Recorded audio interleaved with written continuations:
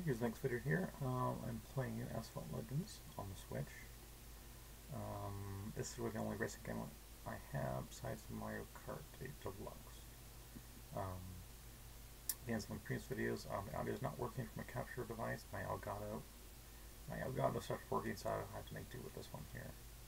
Um, so, uh, upside is I won't have any copyright claims. Um, But anyway, um, you can see some layers of depth.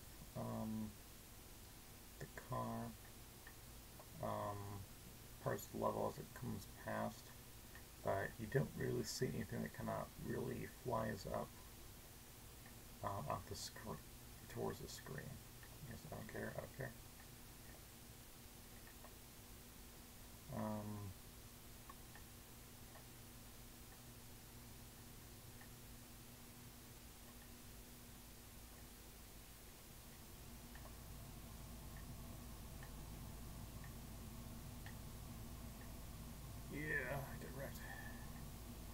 Anyway, um, you see some some depth. Um, you don't really. It's not really like as much in your face. It's not real like. Um, you don't you don't tell. You can't tell. Um, as much. You kind of have to kind of look at it. Um,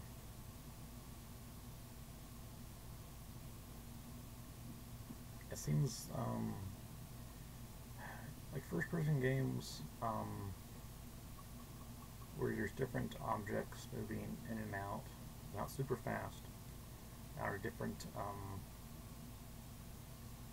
different distances away from the camera, you see the effect um, pop a little bit more. Uh, because this is a racing game, I'm just going close to the camera, you will see it move you know, farther and closer. After a certain distance, um, there's really no distinction